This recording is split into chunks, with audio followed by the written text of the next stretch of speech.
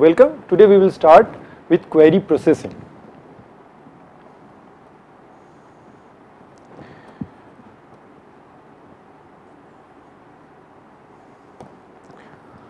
So what do we mean by query processing is that when a query comes, for example an SQL query comes, how does the database actually answer it?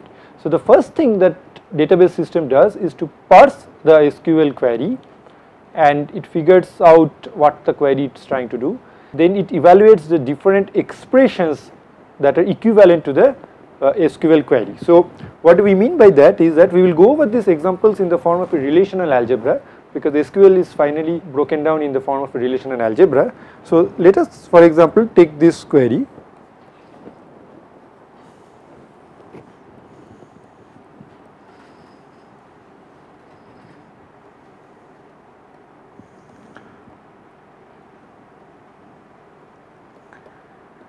So we all understand that for this query, the aim of this query to find out the balance of all accounts where the balance is greater than 1000. Now once we write this query, this has an equivalent expression of the following manner. So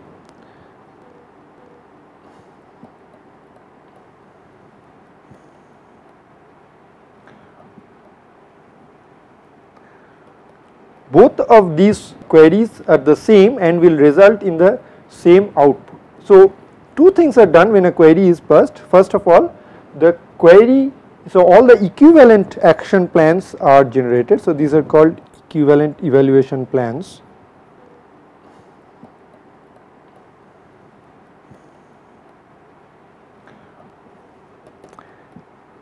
And for each of these evaluation plan, a query order tree is created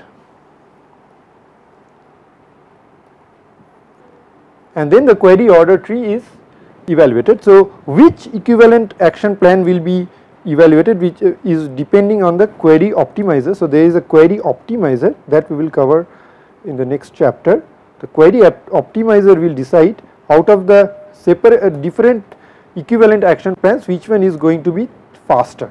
So, and based on all of this finally the query code is generated and that is being executed. So, what are the different things that affect the query cost? The cost of running a query can be affected by different things. Then of course, as we saw the most important thing is the disk access as we have been arguing from the last time. The number of random and sequential disk IOs is the more important time. Of also CPU time is a factor and if there is some network communication then the network communication can also be a factor. If however the database uh, is in the same machine then there is no network communication but in general it can be done. As we said disk accesses is the biggest factor so that is what it is being so the all the query optimization plans generally optimize only on the disk access. Now how uh, can the disk access be estimated? Disk accesses can be estimated based on simply the random IO and the sequential IO cost. So, the number of disk seeks, number of disk seeks these include the disk rotation as well and then the number of so this number of disk seeks is one parameter the number of blocks that is read number of blocks read. As a part of this of course is the average block reading time that is assumed average disk block reading time and similar to the number of blocks read there can be a number of disk blocks written. Now generally writing time is more than the reading time because once the database writes it also uh, checks whether the uh, the, the whatever has been written is correct. So, there is a reading time hidden into it and again the average time for each of these block rate. So, these are the three things that can be done, but very simply it is estimated as the following manner. So, suppose there are S number of disk seeks and there are B number of block transfer. So, generally we will ignore the reading and writing difference, we will just say B number of block transfers. So, the query cost the time is simply estimated as S times Ts this is the average time for a disk seek plus B times TB this is the this is the average seek time and this is the average block time.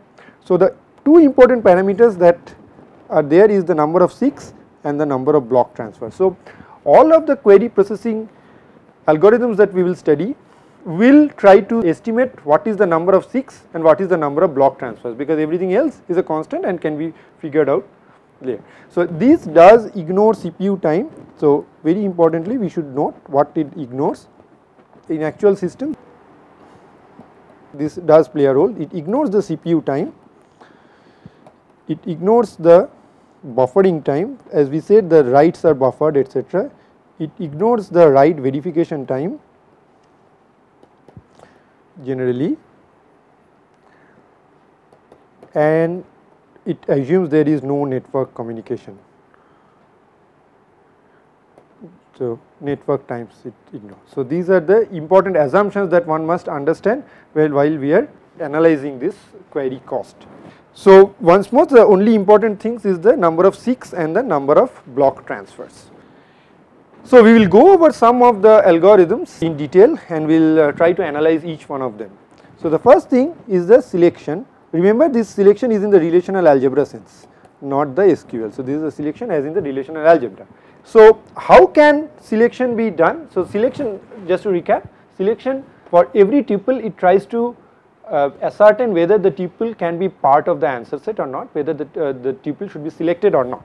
So, the first thing the very basic algorithm that can be employed to do it is a linear search. What does a linear search algorithm does? It goes over all the tuples, applies the predicate the selection predicate on it, if it passes then it is fine, it is output otherwise it is not. So, linear search is therefore always applicable no matter what the selection predicate is, it can be always applicable and it scans all the files and tests each of these records. So, what is the cost for a relation? So, suppose there is a relation R whose total size is B blocks. So, the entire relation takes B blocks, total size of this thing is B blocks. So, what is the cost for a uh, linear search? It is essentially one seek because it needs to go to the beginning of the where the relation is stored. So, the here the assumption is that it is stored contiguously the entire relation is stored contiguously. So, these are the assumptions that we will go over that we will assume for all the algorithms. This is one seek plus B transfers that is it. So, these are the two important parts about linear search. There is only one seek and there is B transfer that is all for the linear search because it goes over the entire relation and tests each record one by one. The next important algorithm of course is a binary search. Now binary search although it sounds uh, more uh, useful etc and faster have certain background built into it. So it is applicable only when the relation is sorted according to the attribute that is being compared. So the selection it cannot be applied for all kinds of selection predicates it must be only on the predicate the on which the relation uh, is sorted. Once it is done the cost can be broken down into the following manner. Suppose it is just an equality thing. So, we want just wants to find the equality. So, find the record which is equal to a particular thing then the answer to that it is about log b base to seeks and that many transfers because these are random jumps. So, that many seeks for each of these block we require a seek and a transfer. So, that is the answer. However, different cases need to be handled. So, suppose the equality condition is on a predicate where all the tuples where the equality is satisfied does not fit into one block then the next block needs to be searched etc. So, this is kind of a conservative estimate that that many seeks and transfers are needed this is kind of a average estimate. Moreover, Suppose the condition is now changed to not equality, but it is let us say greater than a particular value. then what it is being done is that the first block is identified and from then onwards everything else to the end of the file is being scanned. So, the first block is identified then after that everything else is read. So, everything else is read that means there are so many block transfers that needs to be done because these are read uh, sequentially. So, that many block transfers need to be added. So, that is for the greater than case. For the less than case it is a little bit more interesting. The previous strategy of handling the greater than case cannot be applicable completely on the less than because the file cannot be scanned in the backward manner. So, what it is being done is the other way around the file is scanned from the beginning of it and it goes on the scan goes on till the uh, value for which this is less than is being sought. So, it is only one seek plus all the block transfers that is needed. These are the two ways that this binary search can handle. There is another important kind of search which is called the index search. So, what exactly is an index search? It is that we use that index that we saw earlier the b plus tree and the search is done using the b plus tree index. So, it is a searching using that primary index which is the b plus tree. Now, suppose the height of the b plus tree is h. So, this means there are h plus 1 seeks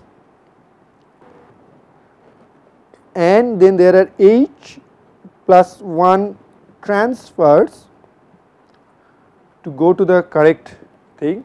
So, why is h plus 1 the leaf has to be searched again this is assuming that the entire answer fits into one block if not there are some m transfers that are added. So, if the number of answers do not fit into one and then there are m more transfers needed to be done, but it is essentially equivalent to the height of the b plus tree. So, for keys of course it is assuming the m is assumed to be 0. So, there is no more transfers that are needed. So, this is when the B plus tree is built on the index for which B plus tree this is for when the B plus tree is built on the attribute uh, on which the predicate is uh, searched otherwise it cannot be done. So, this if this is a primary index then this is all that the cost is if this is a secondary index then there may be more seeks and transfers because uh, the attributes may be stored in different uh, blocks etc. The, the tuples that match the attributes may be stored in different blocks etc. So, this is again assuming this is an equality join equality search. If it is a greater than search, so the predicate is greater than then what happens is kind of the same as what the binary search did then the same thing uh, what the binary search does is being followed. So, the first locating block using the index is located and then everything from the index is being searched. Remember that B plus is generally the leaves are linked as in a doubly linked list. So, it can go either way and if it is doubly linked list then the simply the uh, next leaves are followed. The same kind of thing is done for a less than if it is a doubly linked list the block that matches this particular value is being searched and since these are doubly linked list it can be traversed in both the ways and that can be done to search the other blocks that match the less than condition.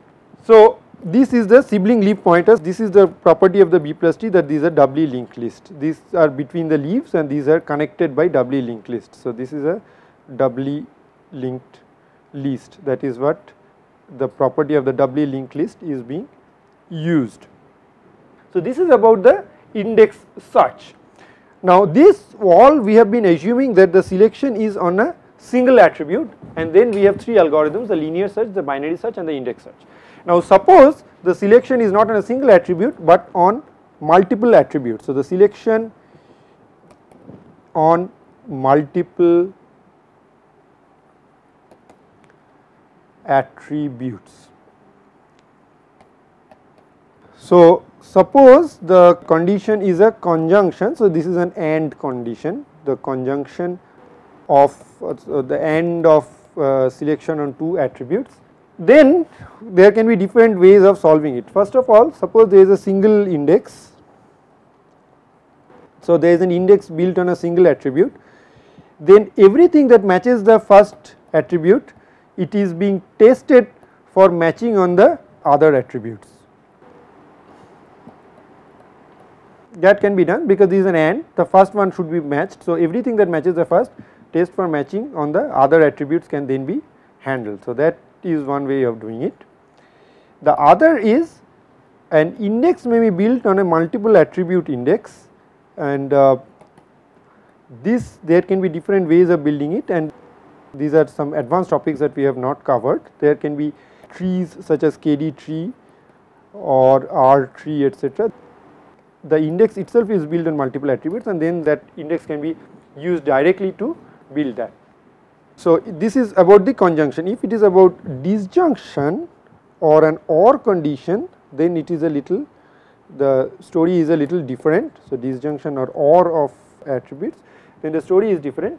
Then if some of the attributes of the disjunction do not have an index built on it, then there nothing can be done. Then the best way of doing it is just simply linear scan. So, the first thing is simply linear search that is the only thing that can be done if there is no index built on one of this.